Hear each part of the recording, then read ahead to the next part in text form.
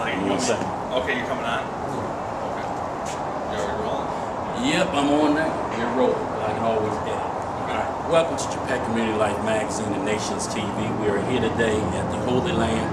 We're currently, your name is? My name is Amos Hallinger. Okay, and you're getting your daughter? No, my wife.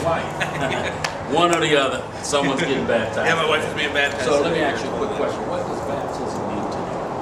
Um, I, I think baptism is, is, is it is it's an outward show. It says that if you confess that's with your your kind of commitment. Jesus It's is like Lord, showing who you identify with. So, so when you go down to baptism, uh, it's, it's showing that, that you're dying to the old man, the right? The old life, resulting in and then you're coming up, and a child of God, being born again as a child of God. And, salvation. uh, Salvation is And have have you been baptized? I have been baptized. Yeah, I was And actually how many baptized. years was it? says everyone Uh, it was in in 2000. Well, I, I was baptized Uh, in a church, and I was baptized in Israel. And then, the same You got it twice. of yeah, I got those twice. Yeah, I went So over to did Israel. you, did you do one wrong thing? You had to go through it twice?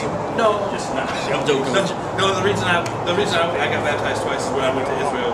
is that I, I thought it would be really like I don't know, it'd be cool because like when you get baptized, you're identifying with, with what Christ did, and you're following His example. So, so being in Israel is not to be baptized to me seemed like The right thing. missed opportunity. Yeah, yeah, exactly. So, uh, uh, with the new family, I understand you have a book out too. It's no old Jesus.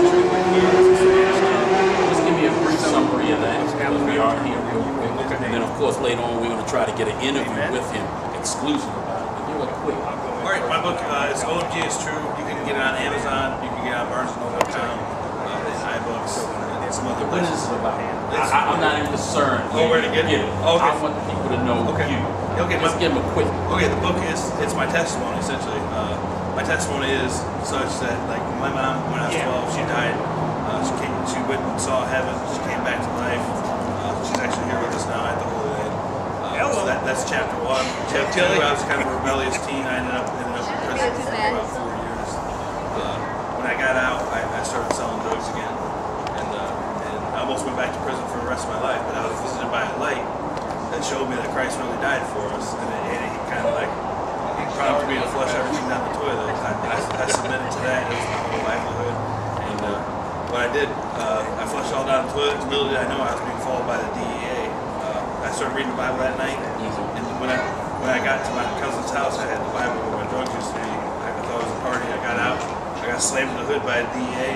So where my drugs used to be, they found the Bible that free. And uh, so, so what I do is I tell a story like from that point Again, on, like God, I want you to God know. literally saved my life. This is not salvation. I tell a story about this life that He's given me, which is now I have ten children. I graduated from the University of Michigan. I'm a the triple obedience student right to now. the command My, my book has been a number one bestseller on Amazon for five months. is in a made. And uh, So we got ten children? ten children and one grandson. Yep. It had none of those none of those children. Let me ask you this question, In him. and then we're gonna close, because I know they're getting close. Now she's What do making you the feel Lord it is? Savior. The essence of a man. Like essence of a What receive. changes man? I, I mean, what changes? What really changes man? Not a I confession. mean, it's, it's the love of God. It's, it's coming in, into that understanding of how God sees you, and then and, if, and then for you to come in, into who you are in Christ.